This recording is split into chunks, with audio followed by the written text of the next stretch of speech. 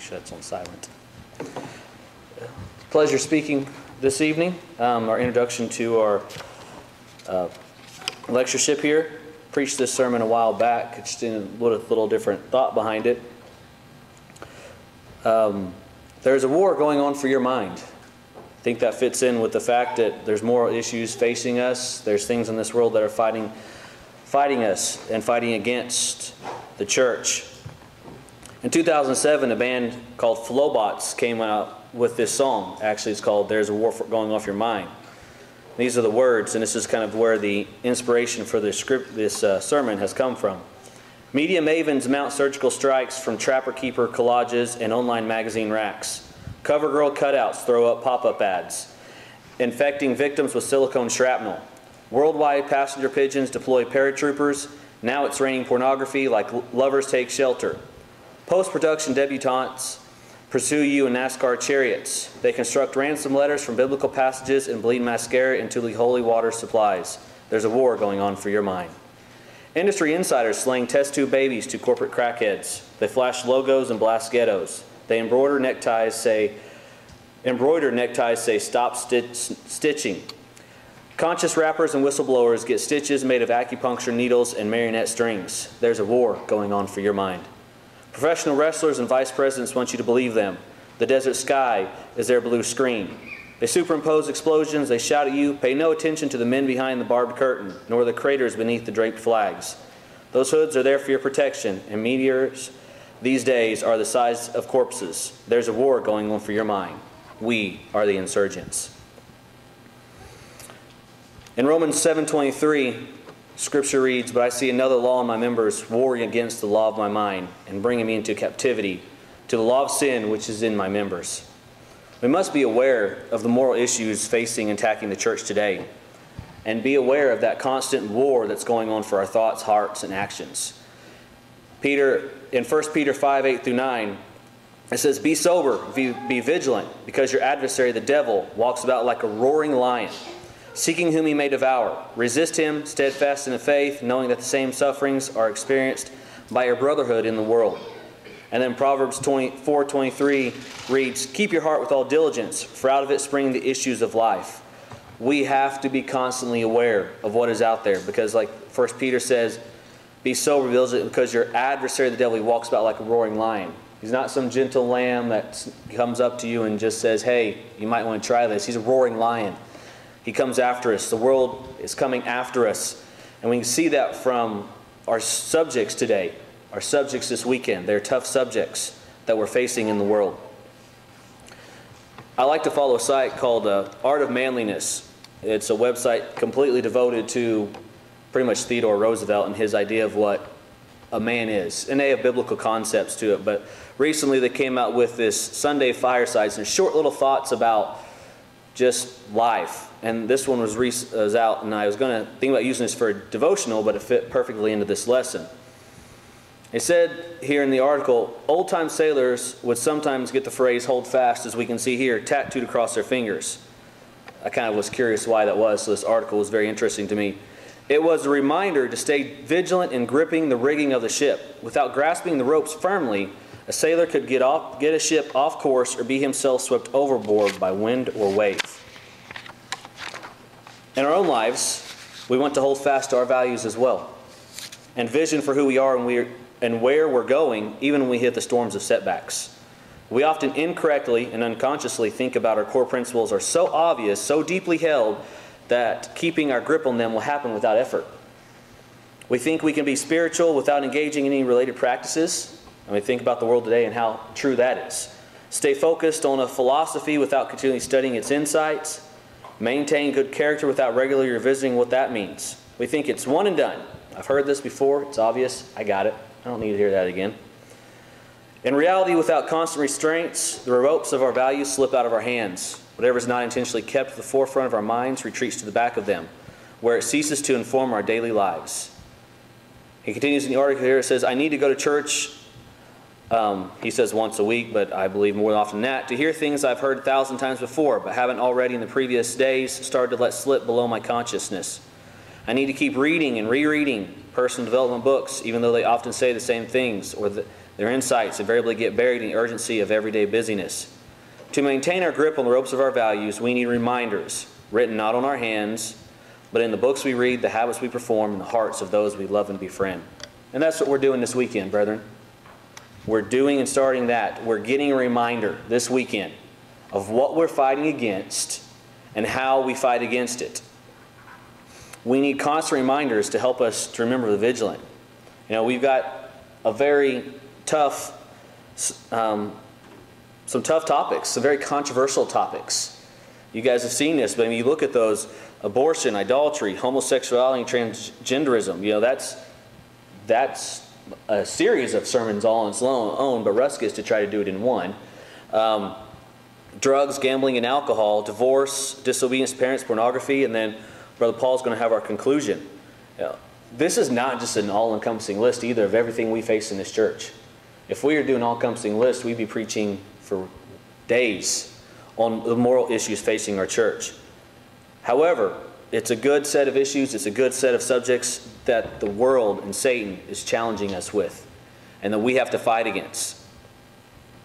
We're going to go back all the way back to Genesis 3, chapter 1, to see the very beginning of that there's a war going on for our minds. And that is Adam and Eve in the garden. Here we can read Genesis 3 1. Now the serpent was more cunning than any beast of the field which the Lord had made. And he said to the woman, Has God indeed said, You shall not eat of every tree of the garden? And the woman said to the serpent, We may eat the fruit of the trees of the garden, but of the fruit of the tree which is in the midst of the garden, God has said, You shall not eat it, nor shall you touch it, lest you die. Then the serpent said to the woman, You will surely not die, for God knows that in the day you eat of it, your eyes will be open, and you will be like God, knowing good and evil.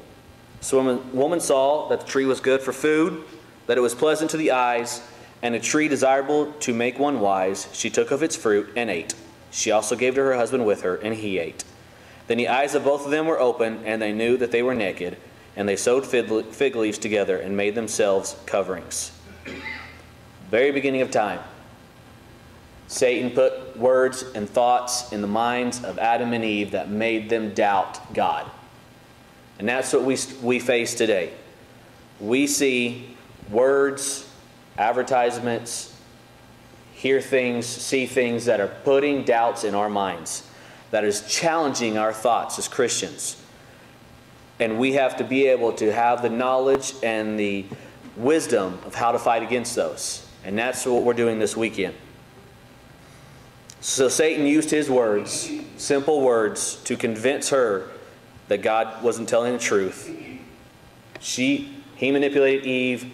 Eve then manipulated Adam and convinced Adam and then they're both banned from the garden. Rather than we don't want to be banned from eternal life because we're convinced by the world that these list of issues that we see in front of us are okay and we can just let them go. There was a war going on for their mind and their soul. So we continue out the Bible, we can see a, a lot of moral issues that existed throughout the world. We don't have to go very far and we talk, think about Lot. Lot lived in immoral in such a debased cities so much that God destroyed Sodom and Gomorrah. And that's moral issues that was facing them. And I mean, I went a little too, um, jumped a little too ahead of myself, but my next one point was Noah. Noah lived a time that God was sorry he even made man because of their wickedness. And we look at this list that we have here, I mean, that's wickedness, it's moral issues. And we'll see here in Genesis 6, 5 through 7. The Lord saw the wickedness of man was great in the earth, and that every intent of the thoughts of his heart was only on was only evil continually. And the Lord was sorry that he made man on the earth, and he was grieved in his heart. So the Lord said, I will destroy man whom I have created from the face of the earth, both man and beast, creeping things, and birds of the air, for I am sorry that I have made them. Um, I like to craft things, I like to build things. I know Chuck does. There's nothing more depressing than when, when you make something, you've got to tear it all down and start over again because you messed up. God created mankind, and he was sorry that he made mankind. Just think about that. And those were, they were so wicked and those moral issues that he chose to destroy. It. We know he won't destroy it today because he made us a promise. But brethren, that's, that's our world today. We are in a world of wickedness. And I would imagine that if God had made that promise, he might be making a decision to destroy it today. And just, the Jewish people throughout all the Old Testament constantly battled with worldly people, partially because they fought, failed to obey God. God said, destroy everyone, but they didn't.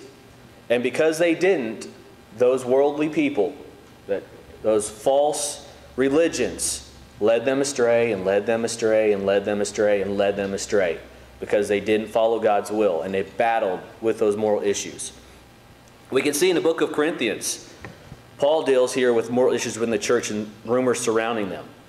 In 1 Corinthians 1.11, Paul says, For it's been declared to me concerning you, my brethren, by those of Chloe's household, that there are contentions among you. I mean, people are going out and telling Paul, hey, there's issues here. You need to address these. 1 Corinthians 5.11 is actually reported to me, reported that there is sexual immorality among you. And such, such sexual immorality is not even named among Gentiles, that man has his father's wife. I mean, Paul, through 1st and 2nd Corinthians, has dealt with issue after issue after issue. Some of them I wrote down here, which is an all-encompassing, is sectarianism, worldly wisdom, immorality, marriage, humility and self-denial, idolatry. And I don't plan on stepping on anybody's sermons this evening, but he just was constantly dealing with those issues within the church. So we can see and we know that words of encouragement can be a very uplifting to us. However, negative and evil words can cause us to sin and doubt the authority of God, as we saw all the way back in Genesis chapter 3. And I think about, we don't have a literal talking serpent coming up to us and saying, hey, you need to eat this apple. You need to drink this alcohol. You need to worship this idol, take this drug. But what we do have in this world is hundreds, if not thousands, of just talking heads all day long, everywhere, in the media. Just about every advertisement we see. Um, buy this, vote on this, go to this place, go to that place, buy this alcohol beverage. No, gamble here. No, no, gamble over here. Um, buy your marijuana here. Those are new ones that's popped up all over town now. Use this company for the best deal, go here. It's on and on and on. We are inundated with messages of what you need to do. It's our, that's the world's agenda. I don't, I don't do social media, I don't do TV, but I drive every single day. Um, I figured up I drive about 27 miles one way, and then I walk for about 10 minutes between my office. Um, it's about one and a half hours each day. What I see on that one and a half hours every single day is approximately 97 billboards one way. So I see three and a half to four billboards per mile of what's called out-of-home advertisement. Um, of those advertisements, obviously they changed, but this was just my count last week. Seven of them are for casinos. Three are alcoholic beverages. Three are from marijuana. And that's just one way. I was going to count the ones one way the other day coming home, and I got distracted and went the wrong way. Um, some of them are digital. I get to see more and more. You know, one, one billboard, I can see five messages before I ever pass it, all telling me to do something different. And it's just a billboard, right? The th thing is, is there's a war going on for your mind and money. They want you. They want your things. And I, I say they're just billboards, and but people notice billboards. So a recent study by Mixed Media Outdoors from July 18 says that Americans spend an average of 17,600 minutes in their cars every year, more than 293 hours annually. The average person drives between 31 and 26.2 miles per day, um, depending on the season, and adults 30 to 49 log the most miles behind the wheel at 13,506 per year. A survey was done by Arbitron that showed huge levels of engagement for those advertisements. The company found that two-thirds of respondents reported seeing a billboard in the past month. 80% of billboard viewers looked at the advertising message some of the time, and half did all the time. Even those on public transportation, um, including airports for those of us that fly, you see those all the time, every bathroom and everywhere you go, noted the billboards with 66 of bus and taxi riders saying they had seen one the previous month. That neglects the claim that says people are on their phone. Um, they're always looking at the phones, they're actually seeing billboards. 23% of the respondents have gone online to find information about that advertiser, and 16% have visited the advertiser's website after a billboard piqued their interest. So that's just, like I said, that's what I deal with all the time um, because it's what I do. So it's, it's what drove me for those facts for this. So what is all that advertising worth? Why are they doing this? Why are they putting 97 billboards in a 27 mile distance? How come they, they want to do that? Um, so here's digital ad spending per year from 16 to 18. Sorry, this one is. This is how much they spend. There you go. Got those slides out of order. Sorry. Um, 125.75 billion dollars is what they propose to spend in 2019 on digital ad spending to get you to spend your money.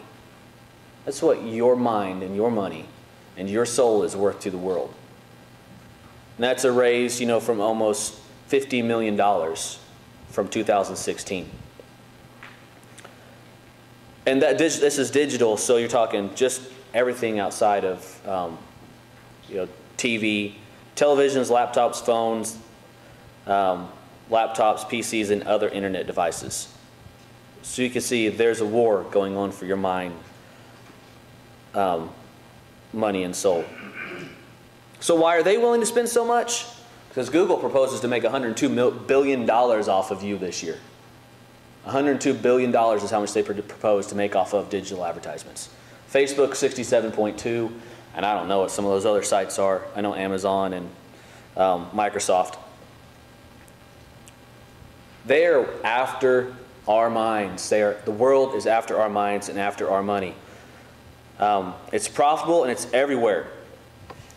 If we looked at advertising medium, so this is how much um, their each group is doing. So you got mobile advertising, TV, desktop, laptop, print, radio, out of home. You got to think out of home is 3%, and that's what I deal with most of the time, and I see 97 advertisements a day, one way.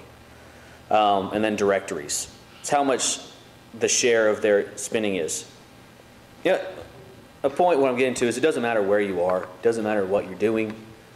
Um, unless you become a hermit and really how you do and what you do to guard yourself, the world has some type of media that's made to influence you to their agenda.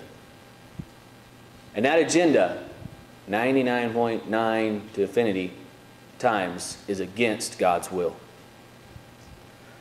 I looked up this interesting stat. There are approximately 68 24 hour news television stations all willing to spill their, spew their agenda at you. Um,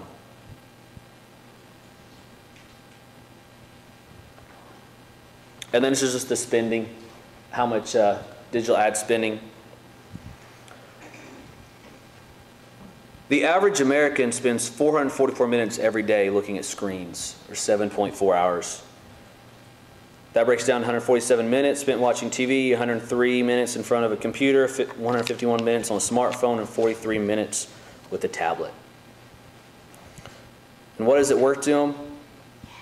Super Bowl ad costs 5.1 to 5.3 million dollars for a 30 second ad. $255,000 per second for them to get their agenda out to you. And I didn't pay attention to Super Bowl, but last time I watched much TV, almost every one of those agendas has something in there that's got homosexuality and lesbians in them. All those commercials, they're spewing their agenda at us. Um, top rated TV show right now, one of them is called This Is Us. It costs $433,000 for a 30 second ad. Billboards can cost up to $30,000. Magazines can cost from 1,500 to $250,000 per size and location. And that 2019 annual spending of all advertising in 2018 was found to be $151 billion. That's what our minds, our body, and our souls is worth in the U.S. to the world and to Satan.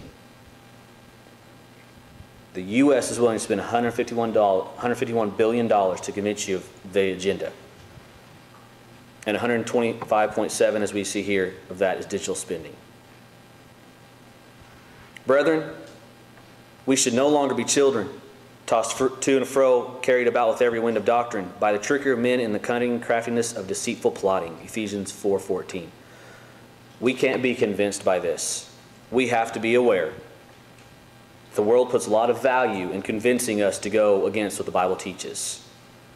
Now that I've got all those statistics out of the way and all that information, how do we, what do we need to fight against this?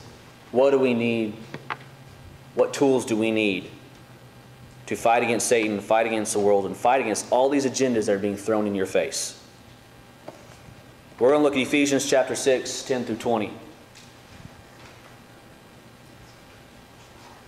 Finally, brethren, be strong in the Lord and in the power of his might. Put on the whole armor of God, that you may be able to stand against the wiles of the devil. For we do not wrestle against flesh and blood, but against principalities, against powers, against the rulers of darkness of this age, against spiritual hosts of wickedness in the heavenly places. Therefore, take up the whole armor of God, that you may be able to withstand in the evil day, and having done all to stand. Stand therefore, having girded your waist with truth, having put on the breastplate of righteousness, having shod your feet with preparation of the gospel of peace. Above all, taking the shield of faith with which you will be able to quench all the fiery darts of the wicked one. And take the helmet of salvation and the sword of the Spirit, which is the word of God. Praying always, with all prayer and supplication in the Spirit, being watchful to this end with all perseverance and supplication for all the saints. And for me, that utterance may be given to me that I may open my mouth boldly to make known the mystery of the gospel, for which I am ambassador in chains, that in it I may speak boldly as I ought to speak. I've underlined several points here that we're going to go through one by one. And these are what I see that we have to have in order to fight against all these moral issues attacking the church. We have to have the truth. You all can probably quote the verse I'm getting ready to, and that's John 17 17. Sanctify them by, the, by your word. Your word is truth.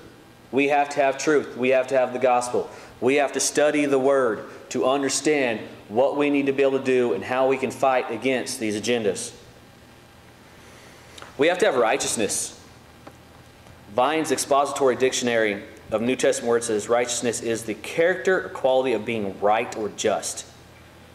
It was formerly spelled right wiseness, which I find very interesting which clearly expresses the meaning. It's used to note an attribute of God, the context of which shows that the righteousness of God means essentially the same as his faithfulness or truthfulness, that which is consistent with his own nature and promises. We have to be righteous. We can't go out and fight against more issues of the world if we're living a life of sin. We have to be right, have right wiseness we have to have attributes of God. We can't be in the world or be of the world and fight against the world. Next, we have to have the gospel of peace there in verse 15. Matthew Henry's commentary on the whole Bible, the preparation of the gospel of peace signifies a prepared and resolved frame of heart to adhere to the gospel and abide by it, which will enable us to walk with a steady pace in the way of religion notwithstanding the difficulties, dangers that may be in it. Resolved frame of heart. There's oftentimes people get challenged and they just wilt. They don't have resolve. We have to have resolve to be able to fight against these things within peace. It is styled the gospel of peace because it brings all sorts of peace peace with God, with ourselves, and with one another. And it may also be meant of that which prepares for the entertainment of the gospel namely repentance. We have to be at peace with the brethren, with the church, in order to be able to fight against all of these.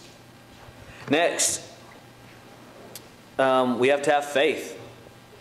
16, above all, taking the shield of faith. Faith in God. What are we fighting for? Faith that no matter the outcome when we're fighting against these moral issues, God is going to deliver us. We might be persecuted. We might be marked. We might be blackballed by friends and family. But God's going to take care of us because we're following His will. 1 John 5 4 For whatever is born of God overcomes the world. And this is the victory that has overcome the world, our faith. Our faith, with our faith, we can overcome the world and fight against the world. We have to have salvation. Um, we have to have the hope that there is an end to this world of pain and suffering. As the song goes, there'll be no tears in heaven, no sorrows given, all will be glory in that land. There'll be no sadness, all will be gladness when we shall join that happy band. We need to understand that there's salvation at the end of it all. We fight, we do the right things, we're living according to God's will. We have salvation in the end. Without that hope, there's no need to fight against it all. That's why a lot of the world doesn't fight against this stuff. They have no hope. 1 Corinthians 13. The greatest of these is love, but we have to have hope. Hope, hope faith, and love. Hope in heaven. We can know that no matter the persecution, no matter the results, no matter what happens with our friends and family, coworkers, it'll be nothing compared to the glory, glory we see in heaven. We have to have the sword of the Spirit. We can't have any of those things without the sword of the Spirit. But we know the sword of the Spirit, the Word of God, is Hebrews 4.12. For the Word of God is living and powerful and sharper than any two-edged sword, piercing even to the division of soul and spirit and of joints and marrow, and is a discerner of the thoughts and intents of the heart. We can't fight against the world on our own accord. The only way we can fight against the world, the only way we can fight against these moral issues is with the Word of God, with the sword of the Spirit. To have, to do, be able to do that, we've got to study it. We've got to have the biblical wisdom. Um, and what we've been studying recently through Wednesday night Proverbs is this perfect amount of biblical, per perfect biblical wisdom as described in the book of Proverbs. All the wisdom and the knowledge it talks about. And lastly, we have to pray.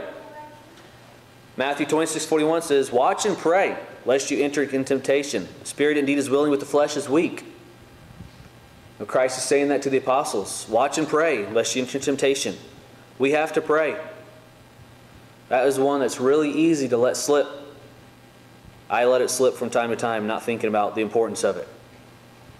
Romans 12, 9 through 13 says, Let love be without hypocrisy. Abhor what is evil, cling to what is good, be kindly affectionate to one another, with brotherly love and honor, giving preference to one another, not lagging in diligence, fervent in spirit, serving the Lord, rejoicing in hope, patient in tribulation, continually, steadfastly in prayer, distributing the needs of saints given hospitality.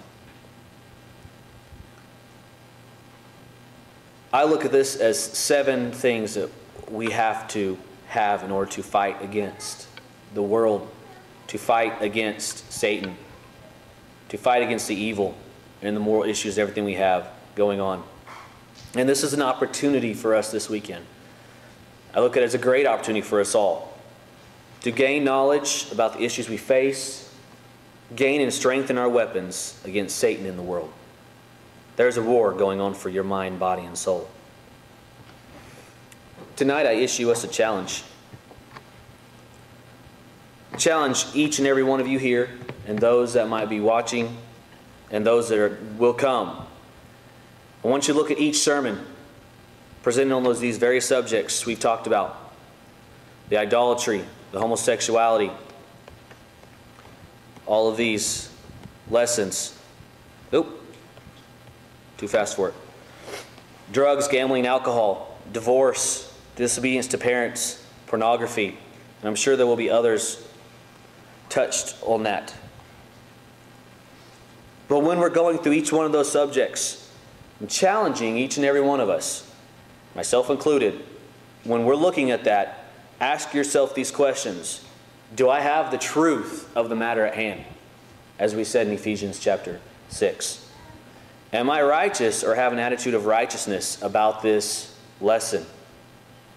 Do I have the gospel of peace? Do I have that right frame of mind and that um, what was that word used a minute ago? The resolve. Do I have that resolve to fight against this issue? Do I have the right type of faith? Do I have the faith I need to be able to stand up against these issues in the world? And do we have salvation and hope, which gives us hope we need to get through those tough times?